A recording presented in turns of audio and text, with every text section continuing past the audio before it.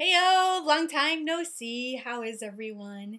It's Facebook question of the week time, and we're going to try something new. Rather than do this as a blog post, we're going to still do Facebook question of the week, but we're going to post it on Facebook, on YouTube, of course, in the sidebar of Spin Sucks, which means it's going to be there for a week, and we're also going to put it on the homepage of Arment Dietrich.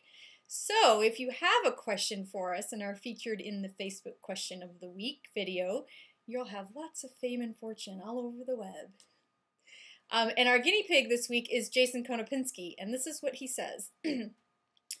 As you know, I'm on the hunt for a new gig in the agency world. Note to people out there looking for somebody, he's on the hunt for a new job in the agency world. Specifically in areas of content creation and strategy, but I can't help but recognize that my professional accreditation certifications don't directly speak to those areas. Can you recommend PR, marketing, advertising specific organizations, continuing ed programs that simply can't be missed? Well, Jason, um, there's a few I think that you should check out. Marketing Profs, of course, is one of one of the best. Um, they're who we look to for information and education. Ragan has some great stuff. Uh, they do a lot of um, events, so you should check out and see if they're coming to town. And of course, PRSA. PRSA with your membership is now doing uh, free webinars, so you want to check them out. Um, IABC does the same. Uh, I know that Shel Holtz and Jill Thornley have a big con continuing ed program going on with IABC right now, so you might want to check them out. And last but not least, SpinSucks Pro, which right now does not offer offering is not offering any accreditation, but we'll get there eventually.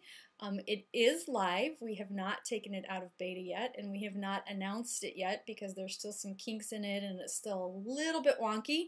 Um, but you definitely can subscribe, and the uh, price is actually at a, a, beta subscription price, so it's going to increase after we do take it out of beta. So you should definitely check it out. Lots of really great content in there. You'll get uh, access to two webinars a month, which is a $100 value, and the subscription is $50 a month. So definitely check it out.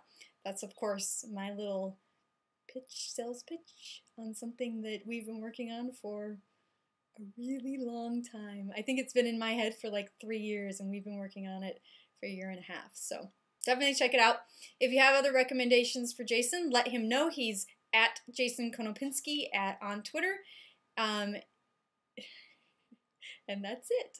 So with that, I was going to say put leave it in the comments, but we're not doing that anymore, so never mind. So if you have a question for me, go to facebook.com slash Dietrich, leave it on the wall there. If you have a question for somebody else on the Arment Dietrich or Spin Sucks teams, tell us who you'd like to answer it, and we'll get it done for you. Talk to you soon.